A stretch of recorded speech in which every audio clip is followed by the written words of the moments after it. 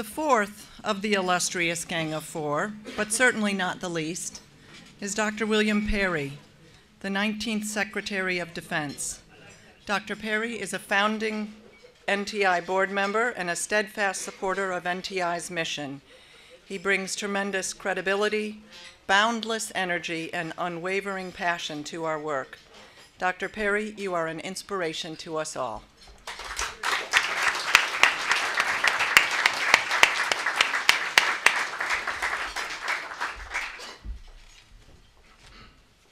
Thank you, Joan. I'd like to preface my comments by noting that in the audience tonight are Stephanie and Ash Carter. Last week, the Senate, by unanimous consent, confirmed Ash as our new Deputy Secretary of Defense.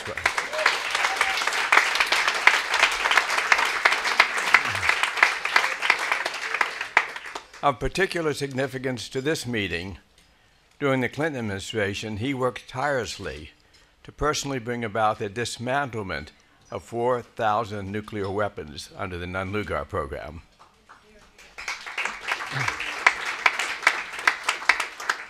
Now, when we think of leaders in disarmament, we do not ordinarily think of ministers of defense, secretaries of defense, deputy secretaries of defense, secretaries of war, Therefore, I am particularly honored that NTI has selected a former Secretary of Defense na whose name is going to be on one of their 10 year awards. And it is especially appropriate that the recipient of that award will be a former Minister of Defense of the United Kingdom, Lord Desmond Browne.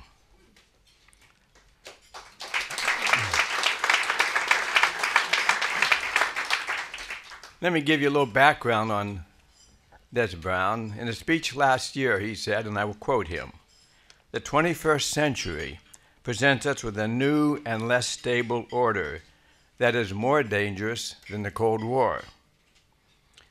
Collectively, we need to address it before it overwhelms us. Before it overwhelms us. And he also said, collectively. Let me focus on that a little bit because collectively is the key. Lord Browne believes, as I do, that nuclear security is an issue that absolutely demands that politicians and policymakers from all parties and all political persuasions work together.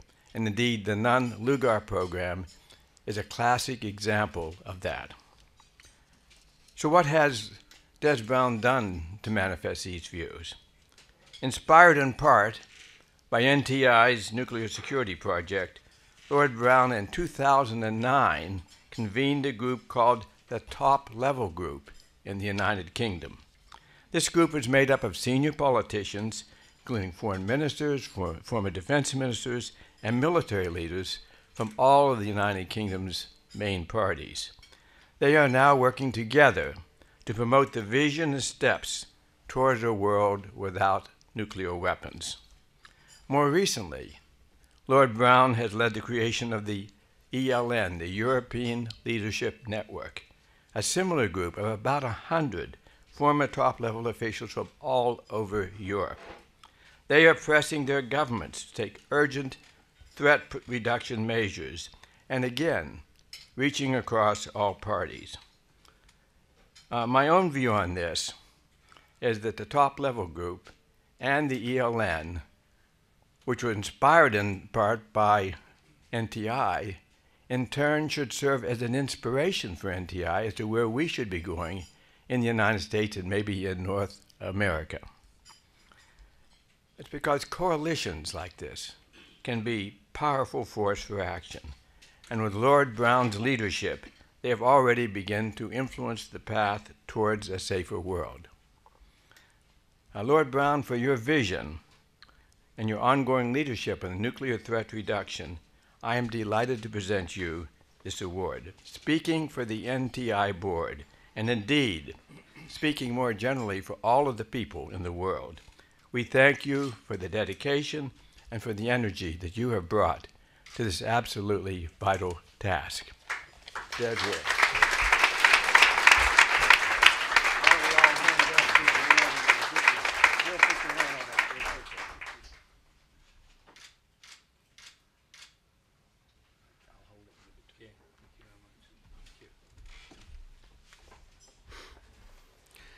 Excellencies, Senators, distinguished guests, ladies and gentlemen, it is both an honour and privilege to be with you tonight, and thank you very much for this award. I, I am humbled to be in the company of my fellow honorees. I never expected ever to be in this sort of company. Uh, I have to say I'm honoured and slightly in awe to rise from the Nunn-Lugar table to receive an award from Bill Perry uh, with his name on it. But I can say that for someone who believes in politics, who believes in leadership, and who believes in a world free of nuclear weapons, frankly, it doesn't come much better than that. It is traditional in these circumstances to say that I wouldn't be here but for other people. Uh, in my case, it happens to be true. Uh, I wouldn't be here but for the colleagues I work with in the top level group and in the ELN's organisation. They're a small number of very dedicated young people. They're represented here tonight by the Chief Executive of the ELN organisation, Dr. Uh, Ian Kearns. But they deserve this award as much as I do, and I receive it for them, and they will be immensely proud when I take it back uh, to London to them. Over the course of this evening, we've heard much in many different ways celebrating the achievements of the NTI and their 10 years of contribution to leadership in this very difficult area of public policy. It is difficult to find a new and fresh way to say this, but as I looked around the room, I was struck by the scale and scope of the partnerships who were represented here. And I think they are Sam and Ted and all the other board members of NTI and their supporters a testimony to your enormous achievements uh, over these 10 short years. And I leave you with this simple message, I think, on behalf of everyone who has experienced the energy of your organisation. If this is what you can achieve in 10 years, there are many of us that look forward to your adolescence and your teenage years. Thank you very much.